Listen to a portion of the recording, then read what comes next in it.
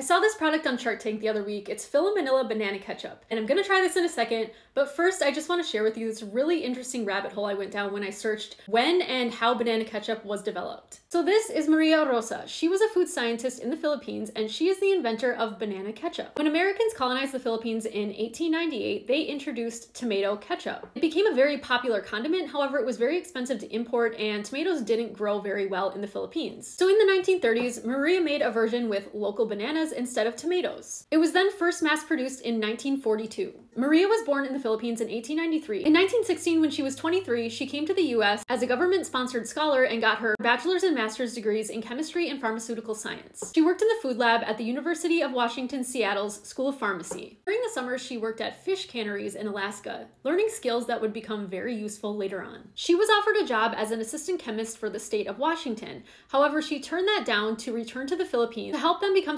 self-sufficient in food production. She developed local methods of canning fruit and also developed the Paliac oven. And I'm definitely pronouncing that wrong, so feel free to correct me on that but that was an oven that can be used without electricity. She joined a resistance movement in 1941 when Japan invaded and occupied the Philippines. She held the rank as captain there and began inventing nutrient-dense foods to feed local fighters. One of her inventions was this drink Soylac, which was made from soybeans and other local ingredients. She organized a system for smuggling these life-saving foods to detainees in the Santo Tomas internment camp. More than 4,000 civilians, most of them Americans, were being held here. On February 3, 1945, the Battle of Manila began. And while American forces were helping to retake the city from the Japanese, Maria was working in her lab.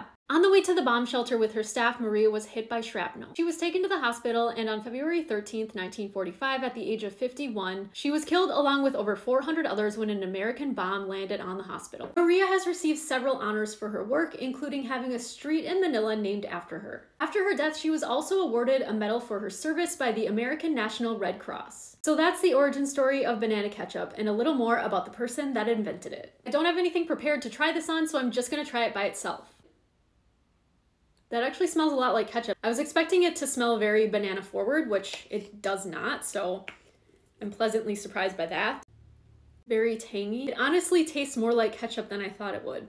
I'm not sure I would know this is made from bananas if I didn't already know that, which is pleasantly surprising. I'm definitely going to be using this in place of ketchup. It's really good.